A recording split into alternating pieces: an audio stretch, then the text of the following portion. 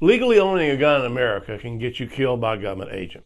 While it still technically remains legal to own a firearm in America, possessing one can now get you pulled over, searched, arrested, subjected to all sorts of surveillance tactics, treated as a suspect without ever having committed a crime, and shot at and killed.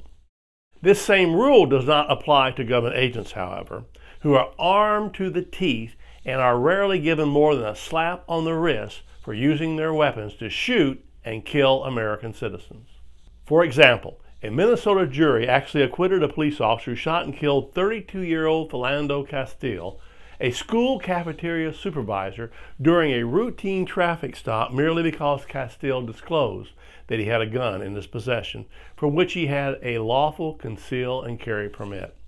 That's all it took for police to shoot Castile four times as he was reaching for his license and registration.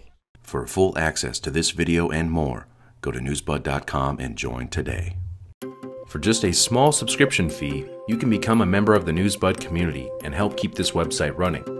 Your subscription will provide you with full community access to exclusive content, including videos and articles from Newsbud's team of experts and analysts, as well as a members only monthly newsletter from Newsbud's founder, Sibel Edmonds.